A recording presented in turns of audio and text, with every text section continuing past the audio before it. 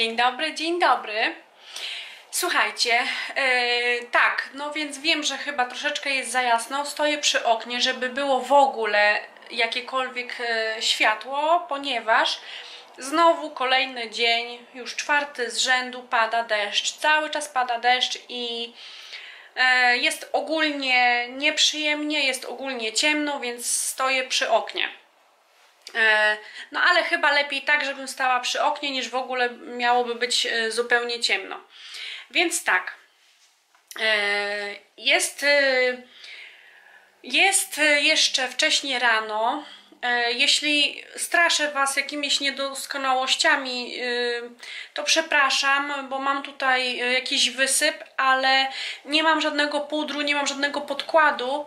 E, bo nie chcę nakładać, jeśli nie wychodzę nigdzie, e, wiecie, gdzieś, gdzieś tam nigdzie nie jadę, nie wychodzę gdzieś dalej, to po prostu e, nie nakładam bez sensu, niech ta skóra poddycha, bo mam właśnie taki, mam jakieś tutaj wiecie, coś mi wyskoczyło i nie chcę na to nakładać, e, nie chcę tego zapychać, nie chcę nakładać e, podkładu niepotrzebnie, skoro nie ma takiej potrzeby, nie jestem zmuszona.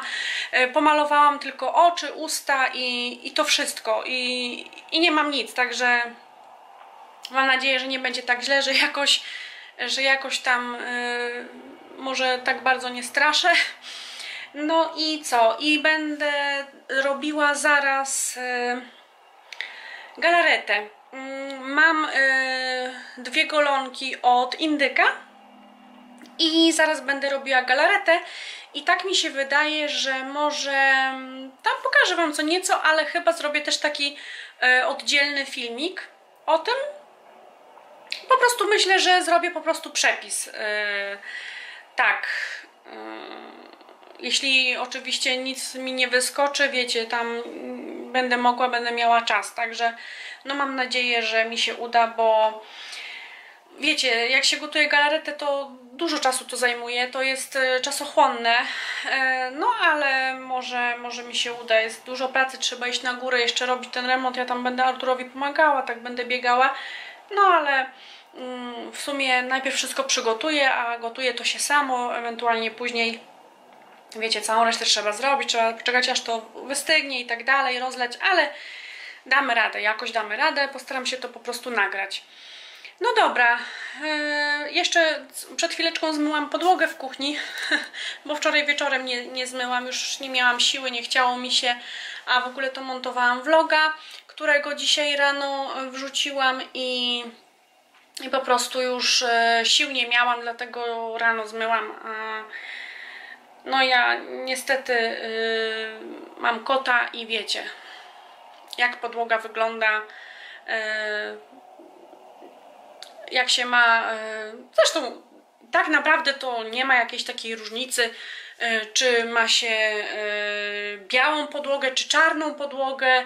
Yy, to tak naprawdę wszystko widać, to ewentualnie jak się ma, nie wiem, jakąś taką może wciapki, jakieś takie nie wiem, może w jakieś takie jakieś wzorki, to wtedy to nie jest aż tak widoczne, ale e, z tego co słyszałam właśnie to najgorsze są takie kafle z połyskiem, jeden kolor i połysk na, na, na połysk, to, to jest w ogóle, słyszałam, że naprawdę najgorsze. Także k- najgorsze co można chyba sobie zrobić w kuchni to e, takie kafle położyć właśnie c- może cz- czarne czy szare z połyskiem, to tam jest po prostu Meksyk wtedy. No wiecie, jak się ma białe czy coś, to też jest, bo wszystko widać, każdą, każda em, plamka, co nam spadnie i tak dalej, to, to się zaraz rozciapuje i to wszystko widać, więc prawda jest taka, a jeszcze jak się ma zwierzęta, to tak naprawdę trzeba tą, tą podłogę praktycznie codziennie sprzątać, no i i tak to właśnie wygląda, że przeważnie ja to robię e, wieczorem, ale że no wczoraj już nie miałam siły, to, to po prostu dzisiaj rano to zmyłam. No i tyle, już mam zmyte i dlatego teraz stoję i do Was gadam, bo czekam aż mi podłoga wyschnie, bo wcześniej nie wejdę do kuchni, a No a robota się ostra dzisiaj szykuje, więc i tak jeszcze ją będę zmywać na koniec, bo wiecie jak to jest. Trzeba obrać wszystkie warzywa, marchewkę, pietruszkę, seler, ble ble ble, ble wszystko, wszystko i, i to i tak i tak się naświni, więc cała moja praca i tak pójdzie na marne, no ale jakoś tak psychicznie lepiej się czuję, jak mam czystą podłogę. Dobra, będę kończyć i widzimy się jeszcze później, tak będę Wam urywkami pokazywała w kuchni, bo wiecie, nie? Ja tu sobie stoję teraz w salonie, ale i tak najlepiej się czuję w kuchni i tak i nikt nie jest w stanie tego zmienić, więc zaraz będę do Was gadała z kuchni. Hej!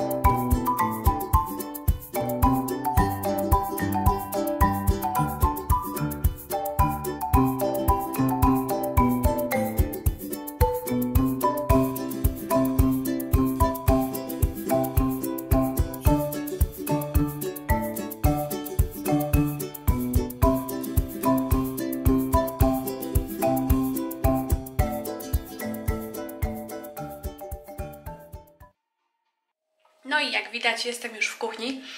E, Zrobiłam sobie drugie śniadanie, zaraz będę jadła. E, Banan i jabłko po prostu sobie, e, sobie zjem. Tutaj mam już przygotowane mm, rzeczy na galaretkę. Pietruszka, marchewka, seler i dwie golonki z indyka. Ja miałam, ja kup, kupiłam i sobie po prostu zamroziłam i wczoraj wyjęłam je z zamrażalnika, rozmroziłam i dzisiaj będę robiła. Tutaj moje puste miejsce po ekspresie.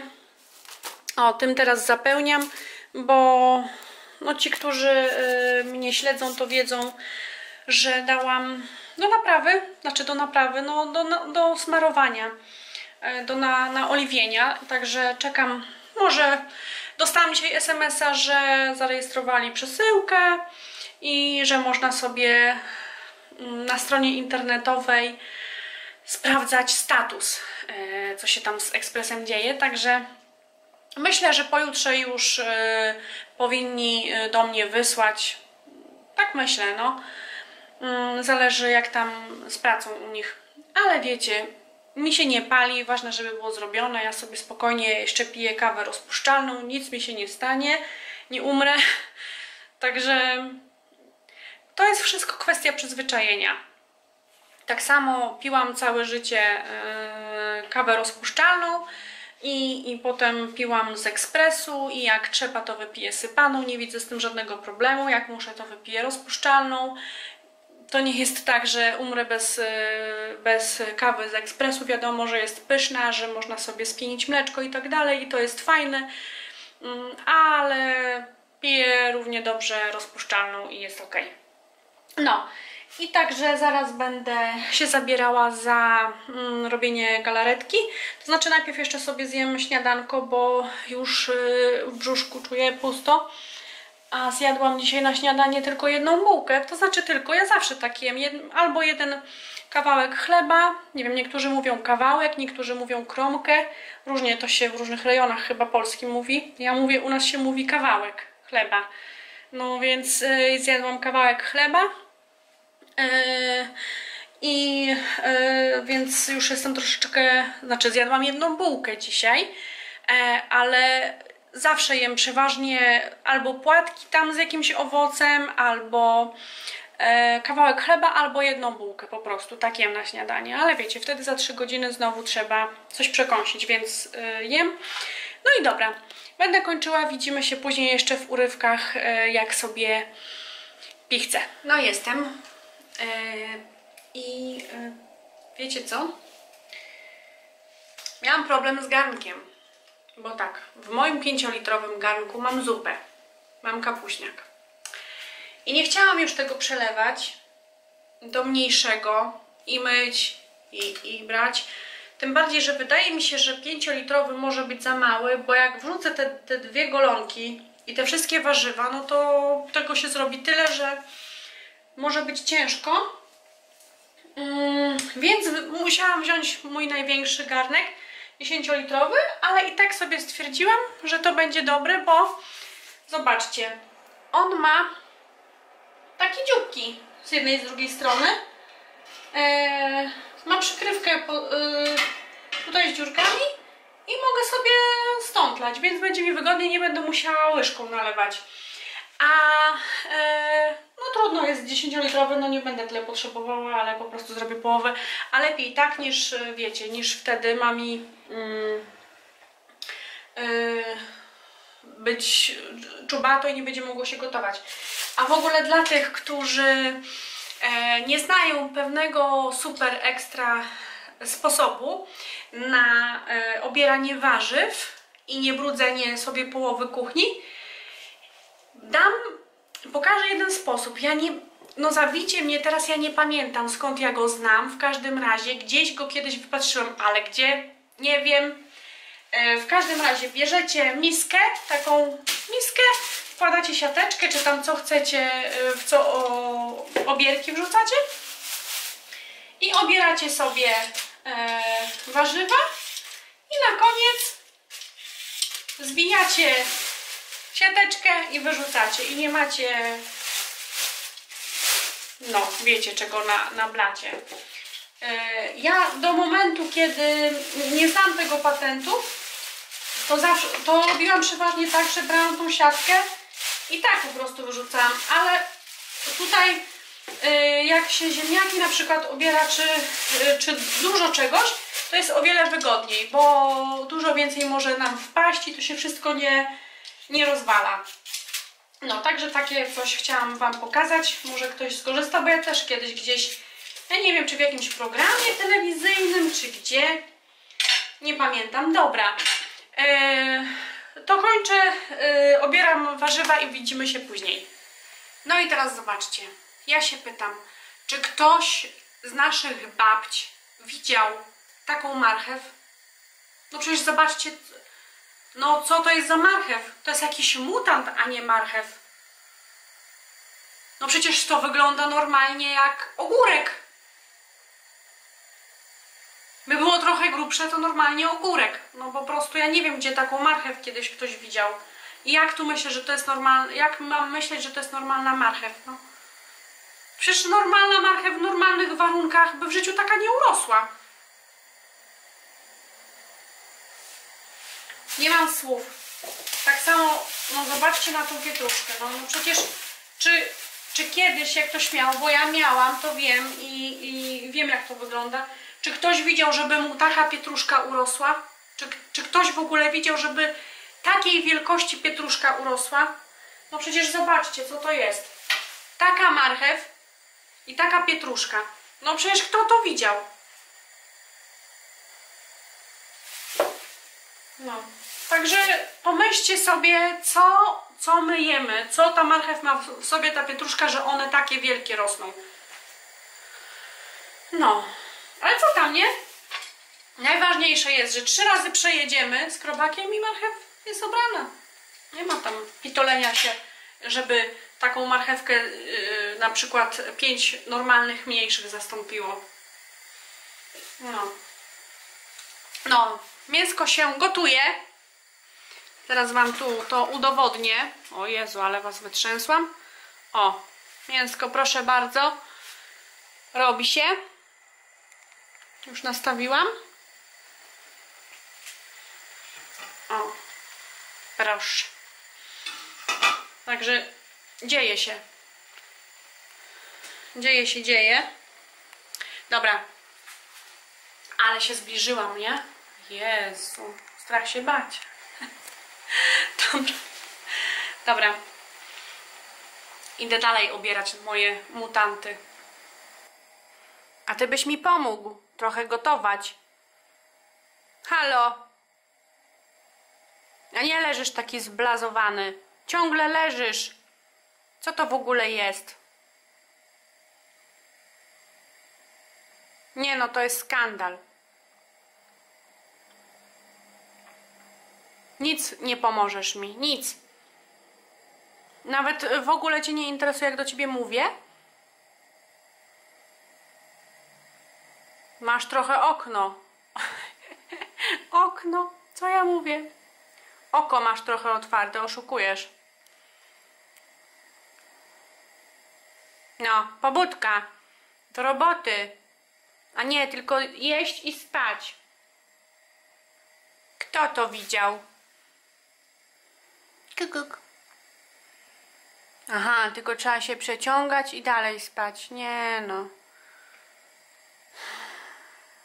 No jeju. Mój kochany.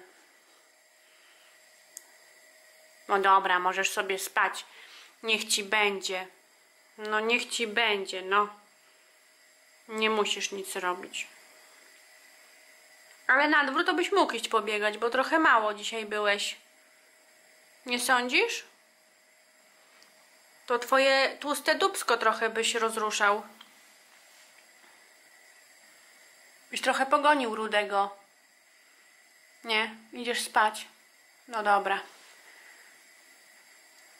To śpi.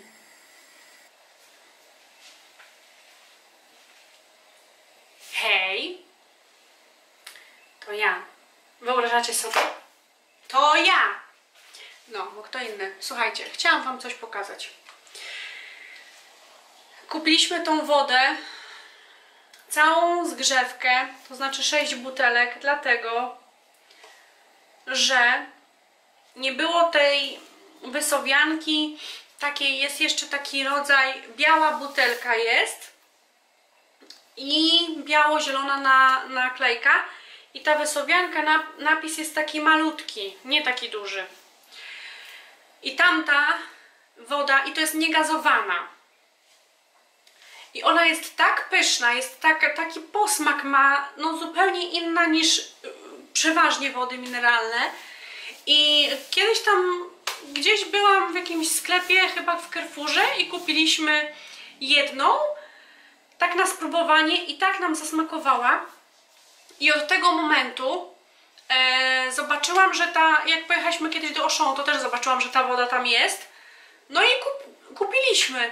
I bardzo, ja bardzo lubię wodę, do tej pory uwielbiałam wodę źródlaną, tą, e, tą e, robioną dla Auchan. Bardzo mi smakowała, ale nie mineralna, tylko źródlana, bo to też jest różnica w smaku. Ale później jak posmakowałam właśnie tą wysowiankę, tą niegazowaną w białej butelce z biało-zieloną, taką przezroczystą, chyba naklejką i zielone napisy, czy białe, jakoś tak, chyba zielono-białe napisy, to mi tak zasmakowała, że ciągle ją kupiliśmy, ale już od jakiegoś czasu po prostu nie możemy jej dostać. Nie ma, ja nie wiem, czy wycofali, czy co. No i w zamian kupiliśmy tą, no i nie było niegazowanej tamtej, tylko jest, to jest lekko gazowana i wtedy była jeszcze gazowana, a ja Wam mówiłam, że ja nie cierpię e, gazowanej wody. Ja w ogóle nic gazowanego nie lubię. Ja nie piję na przykład, nie wiem, Fanty, jakiejś Miryndy, Pepsi, Coca-Coli. Jak wiecie, raz tam popiję gdzieś, e, raz na ruski rok od, od e, na przykład Artura, bo Artur pije gdzieś tam popiję, nie wiem, do, do nie wiem, w KFC na przykład, o, czasami jak on sobie weźmie, to jak, jak wypije, to jest po prostu, no bo tam nie ma wyboru, tam, wiecie, no w KFC nie, do, nie dostaniecie wody do picia niegazowanej. Ehm, także tam przeważnie kupuję sobie wtedy e, Artur kupuje, ja od niego popiję trochę tej coli, ale to nie jest tak, że ja to lubię, czy Pepsi, Pepsi chyba tam jest no i ja nie lubię tych gazowanych. Ja w ogóle tego nie piję. Ja nie wiem ja dlaczego, ale dla mnie mm, w ogóle słodki napój, czy sokiem, czy, czy czymś gazowanym, ja nie potrafię się napić. W ogóle nie potrafię się napić. Ja się najlepiej napiję wodą. I yy, no kupiliśmy lekko gazowaną. Ja Wam pokażę. I ona mi tak nie smakuje i Arturowi też, gdzie on może wypić nawet wodę gazowaną i on nie widzi wielkiego problemu, chociaż też nie przepada, ale to jest, no nie, no w ogóle to jest zupełna, nie wiem jak my wypijemy te 6 butelek, chyba to będzie naprawdę ciężki ból, żeby to wypić. No i przez to znowu będę piła mało wody. No. Ale trzeba będzie ją wypić, no przecież co, no przecież nie wyrzucę. No i tak tyle.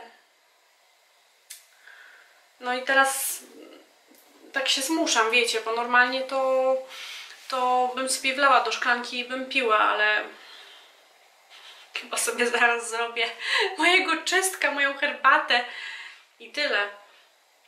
E, wiecie co? W ogóle zasłoniłam te rolety, bo, mm, bo tak się zdenerwowałam. Jest dzisiaj pierwszy dzień wiosny, a gdzie jest ta wiosna w ogóle? Gdzie ona jest? Chyba ja nie wiem, gdzie ona poszła. No u nas w każdym razie jej nie ma. Pada cały czas, non stop pada. Już naprawdę mam dość tego deszczu. Ja chcę wiosnę, już ptaki, wiecie, wychodzę na ogród, ptaki krzyczą, one normalnie nie śpiewają, one normalnie krzyczą. One krzyczą, że chcą w końcu słońca, chcą wiosny, chcą ciepła. Już powinno być tak, wiecie, tak fajnie. I co, dwa dni były takie fajne, cieplejsze. Już widziałam nawet osoby e, na rowerach e, w krótkich spodenkach, co jest w ogóle dla mnie szokiem. No, ale, ale były. No i, i, i dalej zimnota, no i nie wiem. Pewnie słyszycie szum, no ale cały czas gotuję tą galaretkę. No, kaszel jeszcze występuje, gdzieś tam, gdzie niegdzie jeszcze sobie kaszlę, ale to już nie jest tak, że, yy, że to już nie jest tak, że wiecie, że zacznę kaszleć i, i mam taki atak, że nie mogę się ogarnąć, także no naprawdę yy, widać, że tabletki yy, działają, także się cieszę. Dobra, widzimy się jeszcze później. Pa, pa. Yy, Galareta mi się gotuje, to wiecie, to trochę potrwa, bo zanim to mięso i zanim te warzywa będą miękkie, to naprawdę potrwa. No a ja w międzyczasie sobie wymyśliłam, że zrobię pesto, bo miałam jeszcze parmezan. Parmezan to troszeczkę parmezanu i stwierdziłam, że mm, dokupię bazylię i kupiłam bazylię i zrobię pesto z bazylii. No bo trzeba to, trzeba to dojeść. I może Wam pokażę po prostu, nie? A co? Mogę Wam pokazać jak robię. O tak, żeby było widać. Wszystko elegancko. No. Więc tak, mam tutaj pojemnik e, od blendera, w którym będę to robiła. Najpierw musimy e, poobcinać nasze wszelkie, wszystkie, e, oczywiście bazylię umytą. Mam. Musimy poobcinać wszystkie listki, które są świeże, młode i piękne.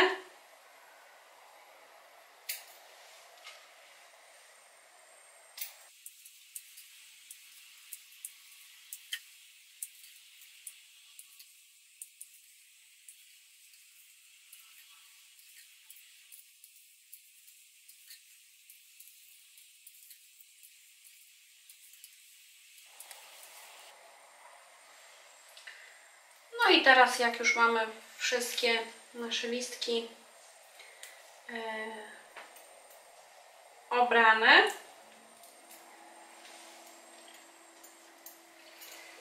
to wyrzucamy oczywiście to, co trzeba wyrzucić. I bierzemy e, nasz ser parmezan, kroimy go na takie mniejsze kawałki. Ale to i tak, i tak chyba jeszcze będzie za dużo, zaraz zobaczę. No, chyba i tak mi jeszcze zostanie. O, w mordę. Normalnie. On nie chce się skończyć.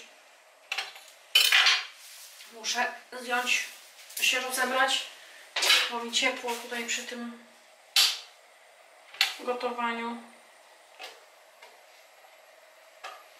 No, jeszcze trochę mi zostanie, także jeszcze na raz będę miała. Bo za dużo też nie można dać, bo będzie tylko ser czuć. Więc no tak. Jeszcze mi zostanie. I teraz y, dwa ząbki czosnku. Widzicie? Czosneczek. Tada! Obieram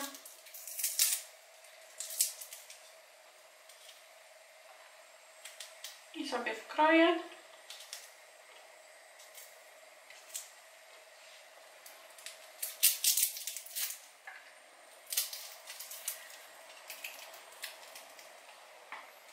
Widzicie, robię tak wszystko e, nagrywam, to tyle czasu schodzi, że było rano, a już jest w pół do trzeciej. Szok. Dobra. Czosnek wkroiłam i teraz mam jeszcze tutaj resztkę. To są orzechy nerkowca. O, mam jeszcze troszeczkę. I też je wykorzystam. Jeśli ktoś lubi, to można podprażyć na patelni. Pyszne są. A ja tak bez niczego wrzucam. Bez prażenia.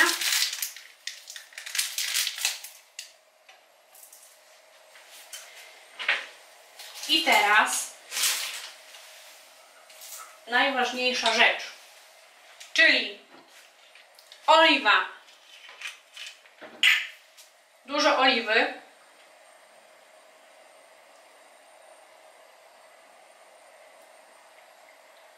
O, tak myślę, że będzie z pół szklanki, na pewno.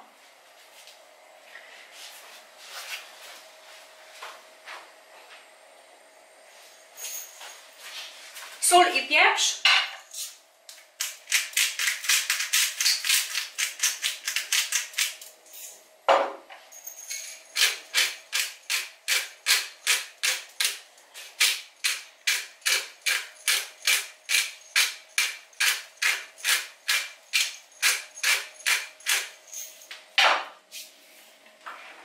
I bierzemy sprzęt taki, bez którego ciężko zrobić pesto.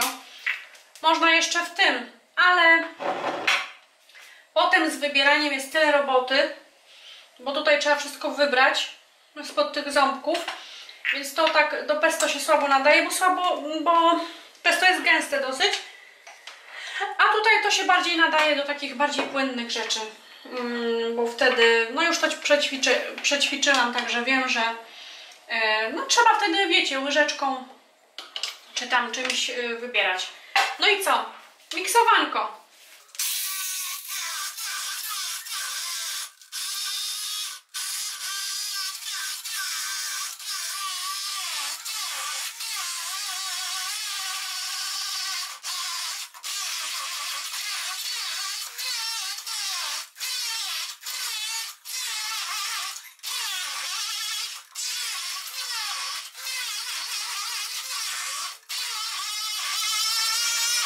Zdarzył się cud.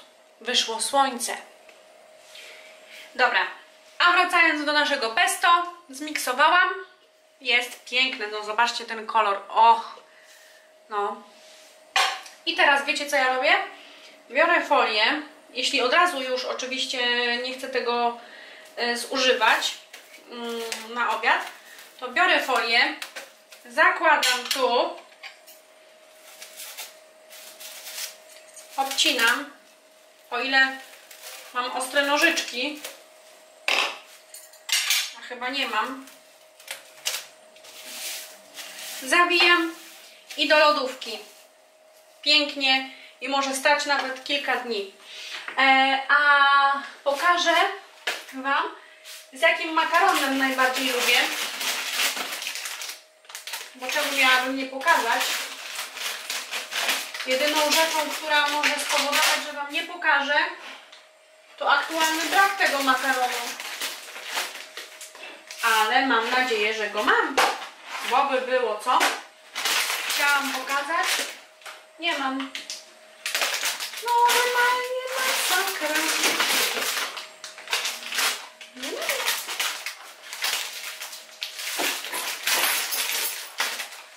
Nie mam. No dobra. Mniejsza z tym. W każdym razie jest to taki e, makaron e, tej firmy. Tej, e, tylko on jest taki z razowej e, mąki i takie grube to są wstążki, takie grube. No ale niestety nie mam. Widzicie? Tak to jest. Byłam w sklepie, mogłam kupić. Kupiłam milion paczek innego A tego akurat nie kupiłam. Ale to nic. Trudno. Mam milion paczek innego, także jakieś tam wykorzystam. No, dobra. Eee, zobaczcie, gotuje mi się. E, gotuje się, gotuje się, gotuje się. Galaretka. Proszę, jaki gar, ale będzie. No a ja na obiad jeszcze mam kapuśniak. Mam tutaj kapuśniak. Mam jeszcze cały duży garnek. E, ale on jest zimny z lodówki i żeby nie nie y, no, jak to się mówi? Żeby nie zużywać całej y, nie grzać y, całego garnka to ja sobie przeleję do, do mniejszego garnka i wtedy będę mm, odgrzewać w takim mniejszym tyle ile zjem po prostu ja jem sama, bo Artur nie lubi kapuśniaku, także jemu dzisiaj coś tam chyba buraczkową będę jeszcze gotować. Normalnie cały dzień przy garach. No czasami są takie dni. No. I odgrzeję sobie w małym garnku, a to z powrotem idzie do lodówki. No, także widzimy się jeszcze później, jak zrobię galaretkę. No hej, witam się z Wami po kilku godzinach, po kilku naprawdę ładnych godzinach. Wyszło tak, że jest 21.23, dokładnie w tej chwili. Miałam jeszcze w międzyczasie, jak robiłam tą galaretę, to miałam e, milion rzeczy do zrobienia. Potem już, e, wiecie, e, zrobiłam tą... Przepraszam. E, Wyjęłam mięso z garnka, wszystko robię, oczywiście w międzyczasie robię e, przepis, e, nagrywam filmik, żeby to był, żebym mogła pokazać przepis. No i wyciągnęłam warzywa, wyciągnęłam mięso i cały czas miałam położoną na blacie kuchennym żelatynę, taką jaką miałam, wyciągnęłam z szafki i cały czas leżała. I leży jak byk po prostu przede mną, leży jak byk, a ja ślepa, normalnie nie widzę. I ja już chcę wrzucać żelatynę do, do garnka i patrzę, a to jakaś żelatyna fix deserowa. Ja mówię, co teraz? I wiecie, ja w sklepie po prostu nie widziałam. Ja nie zwróciłam, patrzę, żelatyna, no to żelatyna. No ja nie zwróciłam uwagi, że to jest jakaś deserowa żelatyna. No i patrzę, może, może będzie, y, może też ją można do takich y, słonych rzeczy używać. No ale czytam, że, y, że to jest dodatkiem cukru. No, także słabo trochę. Jest napisane, że trzeba używać miksera, bo to ma się zrobić z tego jakaś taka piana czy coś, nie wiem. No to jest tylko po prostu do, do słodkich rzeczy, tak mi się wydaje, więc... No a poza tym...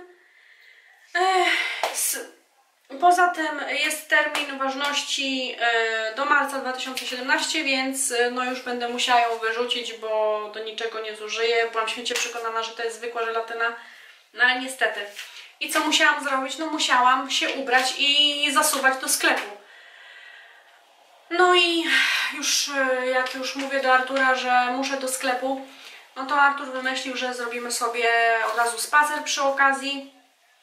No i takim oto właśnie sposobem e, skończyłam, na, za chwileczkę dla, e, skończę dla Was nagrywać przepis, bo zostało mi jeszcze tylko rozlać do, e, rozlać do miseczek i zobaczcie w ogóle ile tego wszystkiego wyszło. To normalnie Wam kopara opadnie. Boże, jak Was tu ustawić? O! Proszę bardzo. Widzicie?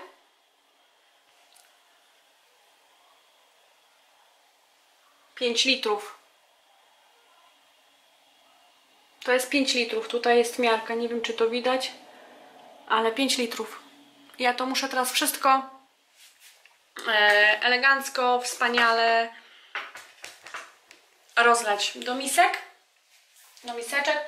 Tutaj mam już przygotowane takie mniejsze, ale jeszcze do dużych, no bo wiecie, 5 litrów jednak. To, to nie ma żartów.